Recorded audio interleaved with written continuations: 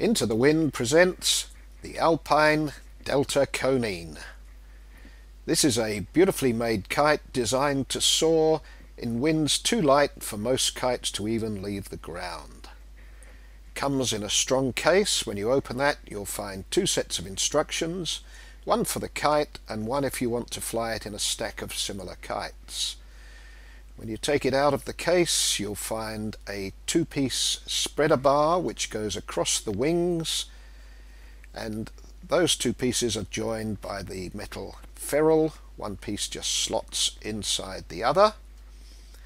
When you open up the kite, you'll find the wings are folded for transport. Open them up.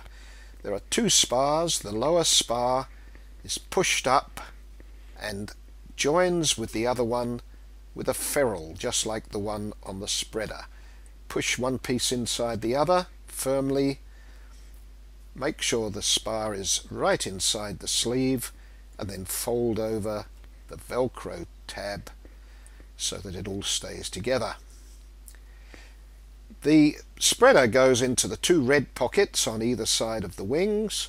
Again, make sure it goes right in and your spreader bar should be through the black loop on the kite.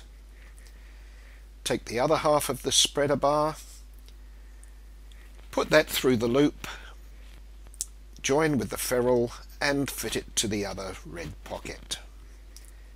Your flying line, you should tie a loop in the end of that, fold over the loop, double it to make a lark's head knot, and then Take the tow point on your kite, put it through the lark's head knot, pull the knot tight, and you have a secure attachment.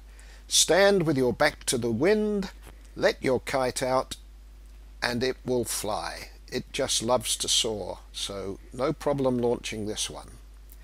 If you wish, you can find a suitable place to stand it, a fence here. Walk back about 50 feet, pull it into the air and again it will just soar. It's quite a big kite, 10 foot wingspan, so it has a lot of impact in the sky. You'll get a lot of notice with this kite. People will see it and love it. If you wish, you can add tails. There are four tail attachment points, one on each wingtip and two in the center.